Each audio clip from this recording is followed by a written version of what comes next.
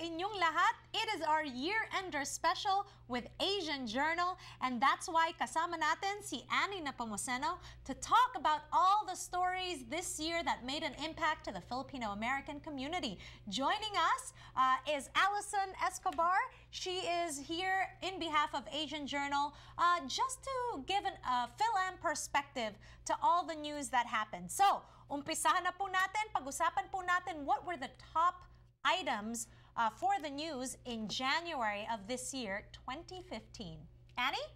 Oh, here's one of them. Pope Francis visited the Philippines for a four-day trip. At least 2 million Filipinos waited on the street to watch him ride away in his non-bulletproof Pope Mobile.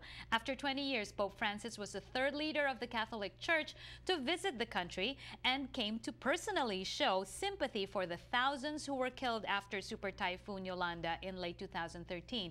The Pope was reportedly impressed with the hospitality of Filipinos with whom he met at various places in the Philippines including the Mall of Asia Arena, Tacloban, and Leyte. All right, so I know that uh, everybody was really preparing uh, for Pope Francis to be there. What can you say? Uh, all this fanfare that happened. I actually know a few people that were there, and they were just very excited about being there and in the presence of the Pope. And even despite the typhoons and the rains happening, it was just a beautiful moment. He was so very wait, wait, wait a minute. You're saying that Phil-Ams from here went all the way to the Philippines just because Pope Francis was going to be there? Yeah, I do know a few people that traveled. Just they were very excited to be a part of it. Um, Okay, wow. That was their chance, I guess. Yeah. Yeah. Okay, so Wish I was there. uh, I, I do know a lot of people that uh, made an effort to go out in the streets to welcome the Pope, but um, there were also other people that were saying that it was just too much, that there was uh, this sort of idolatry already uh, pagdating kay Pope Francis. I guess he's, he's a very likable pope. You know, he's very down to earth and he's always trying to connect with the people, which I believe is what he is supposed to be about. He is a person Oo. and he's trying to reach out to the people. Um, I don't think uh, they idolize him as, say, saint yet. But but really that's his purpose and it's unusual that he has a lot of um, followers or supporters who are not Catholic. Oo, tsaka ano, very progressive si Pope Francis, right? Okay, let's move on uh, to our next story that was really, uh, that really got people riled up in January of 2015. Annie? Yes, gunmen killed 17 individuals in Paris throughout a three-day attack that began on January 7 at the office of Charlie Hebdo, a weekly provocative French satirical magazine that typically features satirical cartoons of the Pro- Prophet Muhammad. The attackers were two brothers who were born, raised, and radicalized in Paris. Following the shooting, which was at the time deemed the deadliest attack on France in the last 50 years, authorities revealed that the perpetrators coordinated the shooting via text message. The brothers were shot dead by police three days after they were they fired shots at Charlie Hebdo.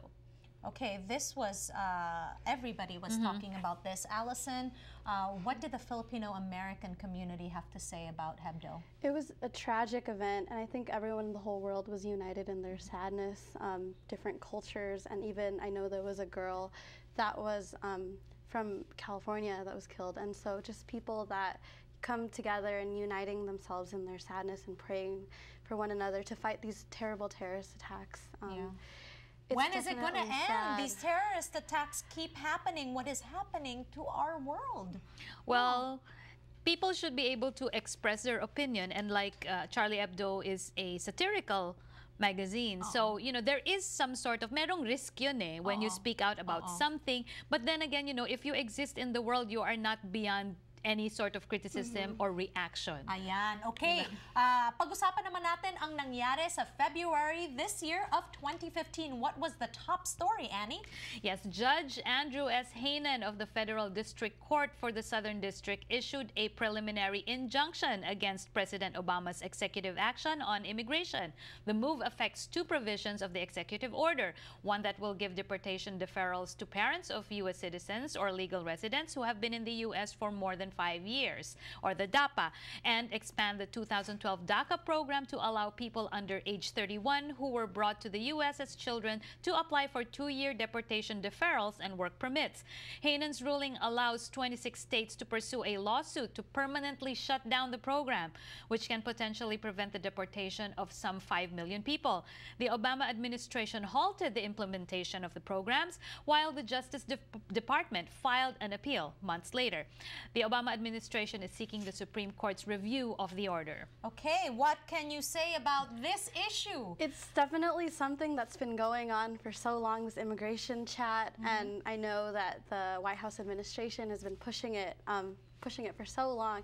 And it's crazy that Congress keeps delaying, um, in my opinion, that they keep delaying the order that is preventing so many uh, families to be reunited here yeah. in the U.S., especially Filipino families who are waiting, waiting for so long just to see their loved ones. Yes. And um, I know parents. for a fact a mm. lot of mm-hmm. people that were hoping for that extended DAPA and DACA mm-hmm. programs mm. um, are now not eligible and now mm. are in mm-hmm. limbo. So yeah. they came out to say that they're undocumented tapos yung pala hindi hindi sila pwedeng bigyan ng papeles. Yeah, but hopefully the hold is really just a hold because I think everyone is worried about deportation more than yeah. anything when they're already together and then they get split apart by by this. -hmm.